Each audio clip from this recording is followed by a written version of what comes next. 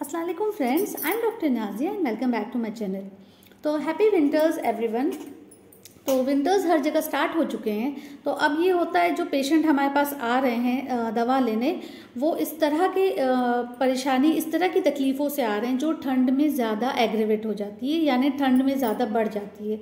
तो ऐसी ही एक तकलीफ़ के बारे में आज मैं आपसे बात करूँगी, जिसका नाम है नी जॉइंट पेन यानी कि घुटनों का दर्द। तो घुटनों का दर्द जो है वो ठंड में यानी कि इस विंटर सीज़न में ज़्यादा बढ़ जाता है। और ये कि जो, जो नी जॉइंट के पेन क्यों इतना ज़्यादा मतलब इंपॉर्टेंट क्यों है? क्योंकि नी जॉइंट जो है हमारा वेट बियरिंग जॉइंट है यानी कि हमारे पूरे बॉडी का वेट उस नी नी जॉइंट कैरी करता है।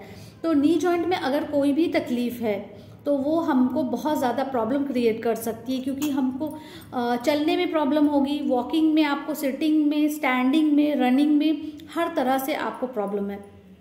तो इसलिए क्योंकि नी जॉइंट इतना ज़्यादा यूज़ होता है हमारा डेली और अगर घूमने फिरने का शौकीन है, कोई पर्सन है तो वो नहीं कर सकता है, वो घूमने नहीं जा सकता है, क्योंकि नी जॉइंट का यूज़ होगा, आपको चलना फिरना होगा हर जगह तो इस वजह से लोग परेशान रहते हैं और आजकल ये कि हर एज में देखा जा रहा है, कोई ज़रूरी नहीं है कि ओल्ड एज होने के बाद ही आपको नी जॉइंट पेन होगा, हर एज के पर्सन में नी जॉइंट पेन देखा जाता है।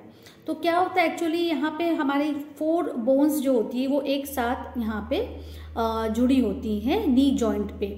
तो ये जो फोर बोन्स हैं, वो टेंडन्स और लिगामेंट होते हैं, उनसे जॉइंट होती है। ये फोर बोन्स का नाम है femur tibia fibula and patella तो ये फोर बोन्स जॉइंट होती है, जहाँ पे, वहाँ पे स्वेलिंग आ जाती है इन्फ्लेमेशन इतना ज़्यादा हो जाता है कि हमको चलने फिरने में, यानी मोशन में जब वो जॉइंट मूव हो रहा है तो तकलीफ़ होती है। लुब्रिकेशन जो होता है जॉइंट का, उसमें कमी हो जाती है, जिस वजह से वो हड्डियाँ एक दूसरे से रगड़ खाने लगती हैं, जिनके वजह से जॉइंट पेन होने लगता है। तो कभी कभी तो बहुत ज़्यादा बढ़ जाता है, इतनी ज़्यादा तकलीफ़ हो जाती है कि आपको पेन किलर्स लेने पड़ जाते हैं या एंटी इन्फ्लेमेटरी ड्रग्स लेने पड़ जाते हैं।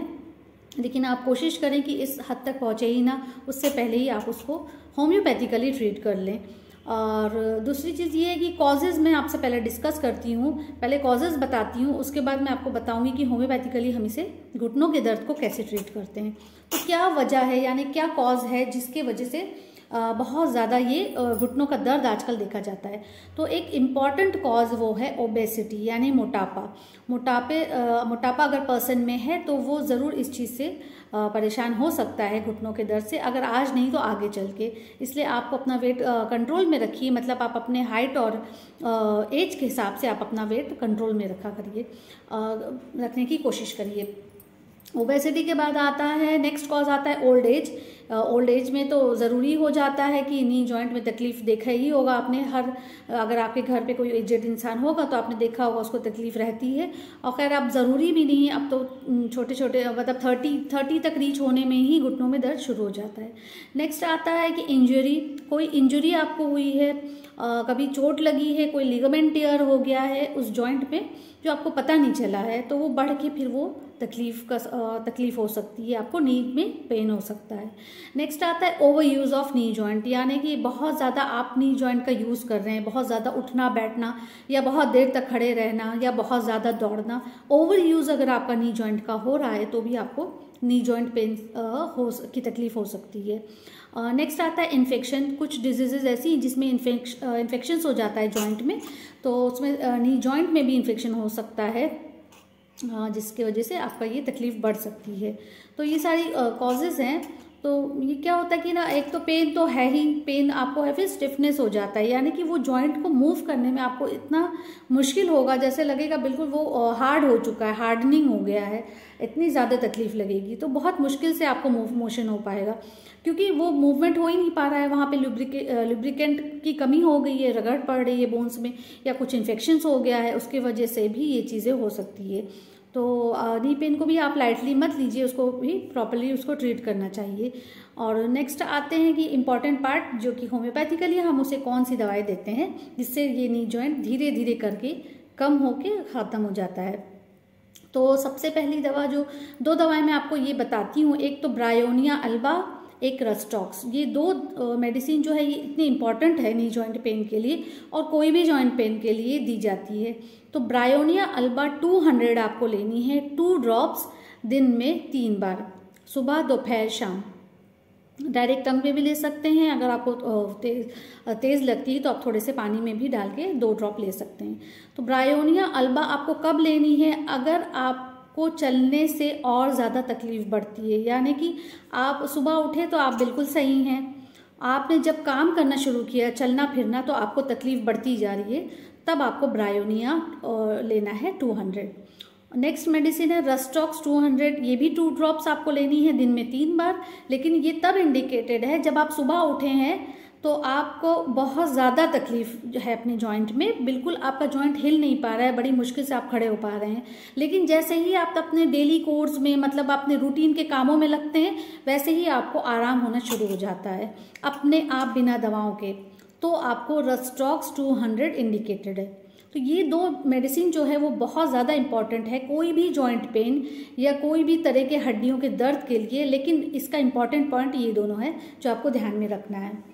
नेक्स्ट आती है कि दो मदर टिंचर हम देते हैं कॉम्बिनेशन में, यानी कि urtica urens mother tincture and gaultheria mother tincture ये दोनों मदर टिंचर जो है वो आपको कंबाइन करके ट्वेंटी ड्रॉप्स लेना है दिन में दो बार, सुबह, शाम, पानी के साथ। तो ये दोनों मेडिसिन जो है, ये भी बहुत ज़्यादा नी जॉइंट और नी जॉइंट क्या, हर बॉडी के हर जॉइंट के लिए बहुत ज़्यादा फ़ायदेमंद है, बहुत अच्छी दवा है।